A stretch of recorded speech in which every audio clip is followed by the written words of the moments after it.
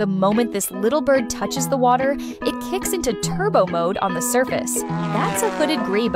Thanks to the special lobed webbing on its toes, a grebe can move effortlessly both on and under the water.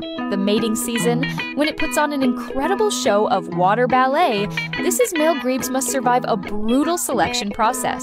First, the female tests them by making them mirror her movements perfectly. Any misstep, and they're out.